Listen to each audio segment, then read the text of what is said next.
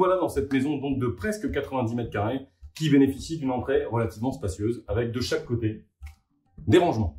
Un rangement ici, un rangement là. Donc une distribution claire, efficace et pratique. Sur la gauche, on va retrouver l'entrée salon, donc une entrée vaste qu'on verra par la suite. Sur ma droite, on va avoir la distribution des chambres, de la salle de bain et des toilettes. Et juste derrière vous, donc derrière la caméra, on va avoir un accès à la cuisine. Vu sous cet angle, ce sera peut-être beaucoup plus clair. Cuisine, salon, l'entrée avec le rangement. Et derrière vous, l'accès aux chambres. Une chambre, 10 mètres carrés. Également dans son jus, mais c'est pas la catastrophe. Les murs sont sains, donc un coup de peinture, on n'en parle plus. Un sol à changer, éventuellement un parquet, la moquette, ça fait kitsch. Un radiateur à changer pour la performance énergétique. La fenêtre, c'est du double vitrage. La commode ou le meuble passe tranquillement ici pour le rangement. Et on passe un grand lit. Encore une chambre dans son jus. Vous remarquerez le papier peint. Les petits clowns, super sympa. Donc, des murs à refaire, des tapissés. Les bases sont une fois de plus saines. Encore un petit coup de bande au plafond à faire.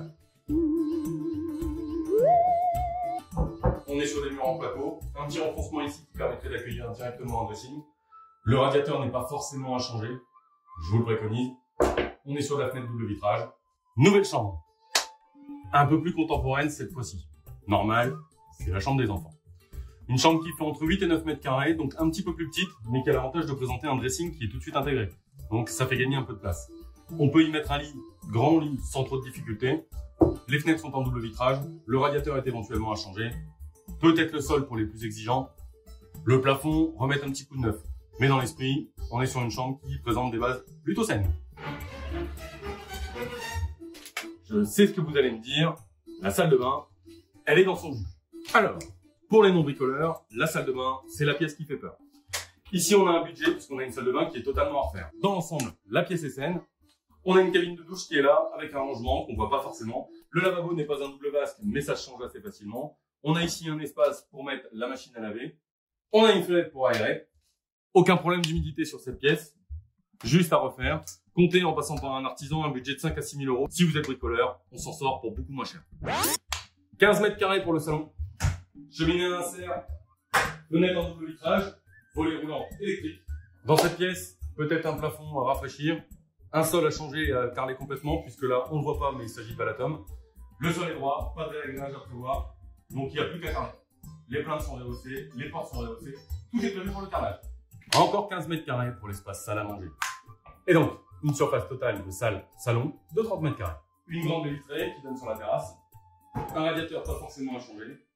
Si vous n'êtes pas bricoleur, que vous décidez de faire poser le carrelage sur toute la maison, ça nous coûtera entre 6 et 8 000 euros en passant par un artisan, le carrelage fourni. Si vous êtes bricoleur, vous pouvez en avoir pour beaucoup moins cher. Alors, comme je le disais, et je ne vous ai pas menti, c'est une maison qui est en partie dans son jus. L'agréable surprise, c'est la cuisine, donc un budget en moins, et pas des moindres. J'en ai pas parlé en abordant le sujet de la cuisine, mais bien sûr, elle est ouverte sur la salle salon, et elle possède un accès sur la terrasse. Certains aimeront, d'autres moins, mais on a une belle terrasse avec un abri de terrasse. L'abri de terrasse a la particularité de pouvoir lever toutes les parois pour profiter de l'air frais quand il fait bon, mais également rester à l'abri quand il peut. Alors, il fait pas très beau aujourd'hui, on est en hiver, les jardins sont pas mis en valeur.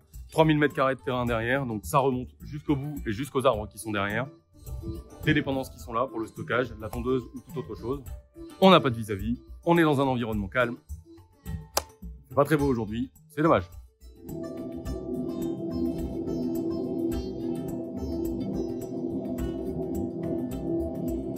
Une entrée de 5 mètres carrés. Un espace salle-salon de 30 mètres carrés. Une cuisine ouverte de 10 mètres carrés. Une salle de bain de 5 mètres carrés. Une chambre de 10 mètres carrés sur laquelle on peut tenter de négocier la couverture cheval. Une autre chambre de 10 mètres carrés avec le papier peint collector. Et notre petite dernière de 9 mètres carrés. Et donc une surface totale de 80 mètres carrés. Les points positifs, la maison est déjà précarnée. Pas de réagrage à faire, toutes les plaintes sont surélevées, les portes sont surélevées, prêtes à accueillir un carrelage. Toutes les fenêtres sont en double vitrage. Des volets roulants électriques, une cuisine qui est intégralement refaite. Une maison qui, à mon sens, va être idéale pour un couple de jeunes primo-excellents ou un couple en préparation de retraite, on va le dire de manière politiquement correcte, pour un couple donc en préparation de retraite, puisqu'il s'agit d'une maison de plein pied, comme vous l'aurez compris.